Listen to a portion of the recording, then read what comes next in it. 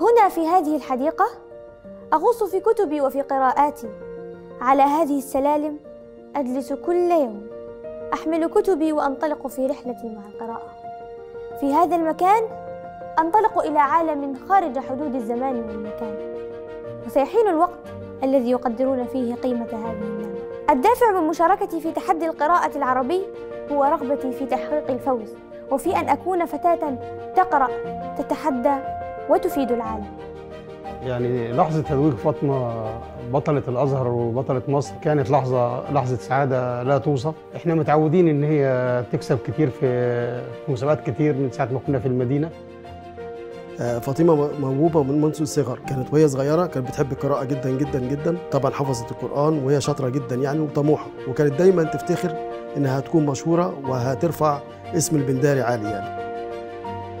طبعا لحظة تتويج فاطمة بطلة تحدي القراءة العربي لجمهورية مصر العربية الأزهر الشريف. أنا كنت موجودة معاها في اللحظة دي. آه، كان يعني بصراحة فرحة لا توصف.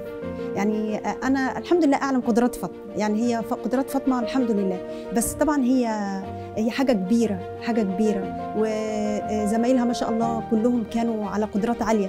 فكون إن أنا كنت أتأكد إن فاطمة هتاخد بطلة تحدي القراءة العربي كان شيء صعب. لأنهم ما شاء الله تبارك الله كلهم أولادي كلهم أعرفهم عن قرب. كلهم آه، جدارتهم عالية.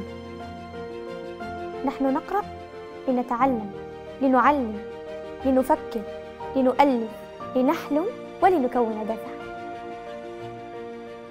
أنا فاطمة عاطف عبد الرازق. بطل الأزهر الشريف من جمهورية مصر العربية. انتظرونا.